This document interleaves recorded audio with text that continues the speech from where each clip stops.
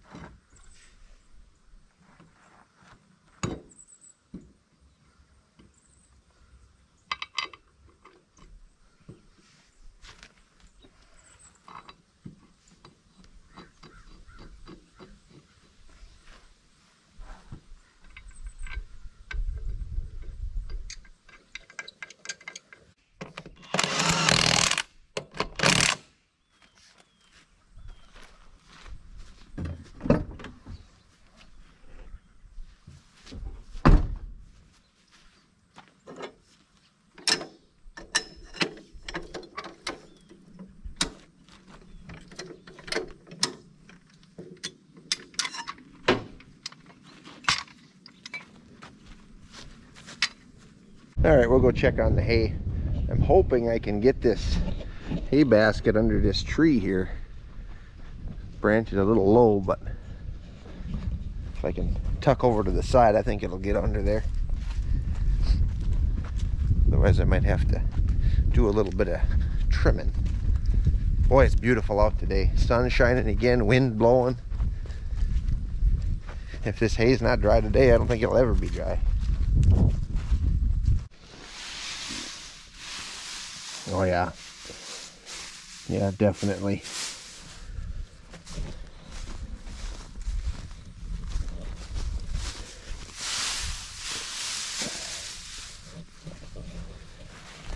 I might, that outside round along the trees here, I might skip that till later, let that, that's still in the shade, so that's got some dew on it, but no, this stuff is definitely dry. And this is, this end up here, um, that's the heaviest hay that's gonna be out here, I know that, so if this is dry, I know the rest of it is, so anyway, we'll pull up here and uh, tighten the baler down and get started.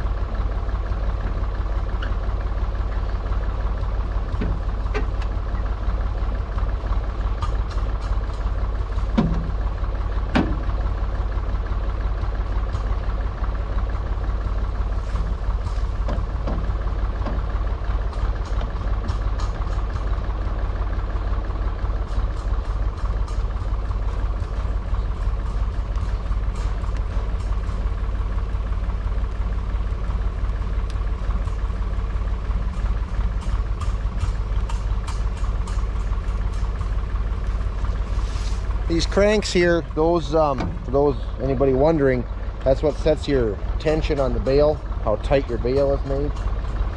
Um so yeah that's all those do. And for anybody out there who thinks that i need to make a tighter bale um it doesn't go any tighter. So we run it dry hay we run it as tight as it'll go. So um but that's what those do.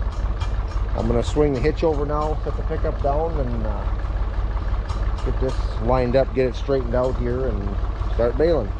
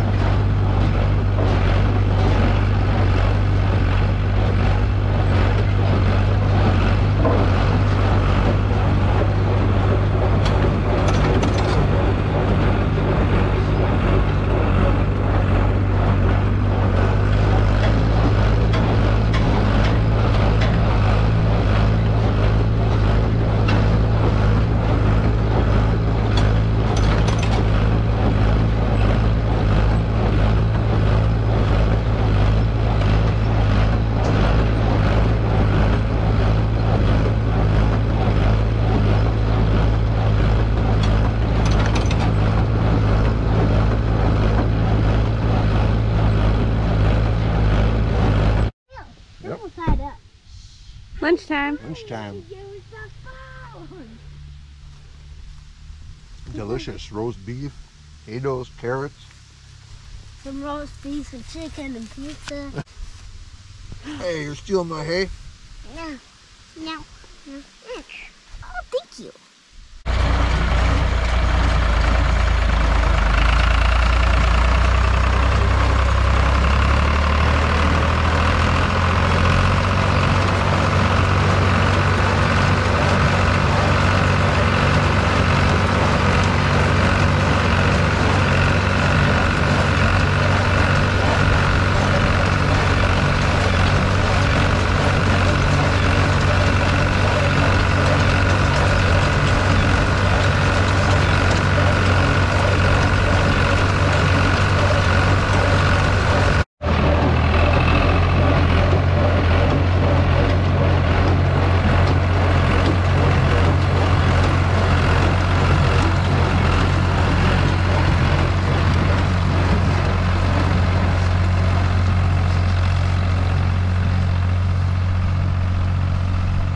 We got all that baled. I got the one load, just brought that home. Um, 197 bales, so that was pretty good. They're pretty tight, so there's a lot of hay in them. Um, so anyway, I'm gonna run now. Jen and my dad are just finishing up milking. Uh, I think my brother Paul is on his way over here. Uh, so I'm gonna probably grain the cows before I go. I'm gonna go get the other, I wanna get the other load pulled home before it gets dark. It gets dark so early now. So then um, get some silage fed and get this in the barn.